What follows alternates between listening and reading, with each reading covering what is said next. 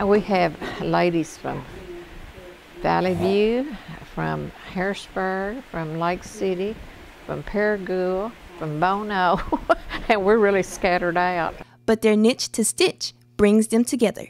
Every Wednesday, the hand quilters meet at Nettleton United Methodist Church to quilt. And they bring in their quilt tops and batting and lining, and we quilt it and charge them for it.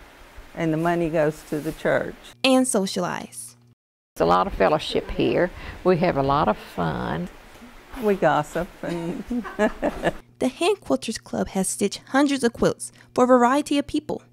This top is being quilted for a client in North Carolina, and this quilt will be sent to a wounded soldier in a German hospital. Their friendship and common craft brings these ladies joy.